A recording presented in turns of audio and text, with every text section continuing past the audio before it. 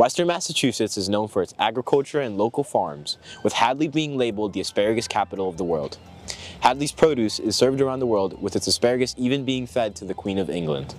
The Massachusetts agricultural scene is mostly comprised of small and family-owned farms, with 94% of farms taking in under $250,000 a year.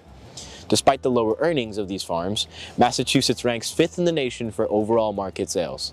With agriculture being a popular job and hobby, we spoke to members of the gardening club at NHS and the shared garden manager at Abundance Farm to see the impact of gardening and agriculture on their lives and our community.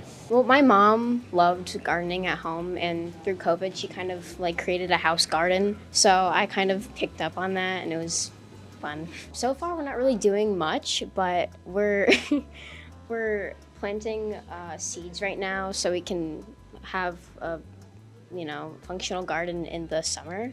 And we hope that we can build gardening beds in the future. So we actually survey people every fall, and what we've learned that people get out of the Shared Abundance program is a couple of things.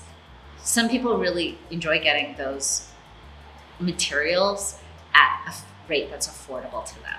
Like people have definitely told us that they might not have been able to start their first garden if it wasn't for this program. And this helped them sort of kickstart being a gardener. Um, some people are looking for that.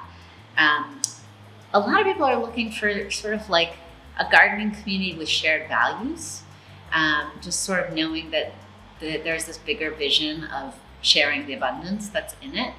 And um, also, folks appreciate like getting tips from each other and learning how to garden. so Just to know that in addition to food, one of the other things that we give out is um, native wildflowers. So we're also trying to use this program to help people change how they landscape and how they, you know, how they do flower gardens and things like that, so that it's like a way to rebuild our ecosystem at the same time. So we're feeding humans, and we're hoping to feed also the wider ecosystem as well.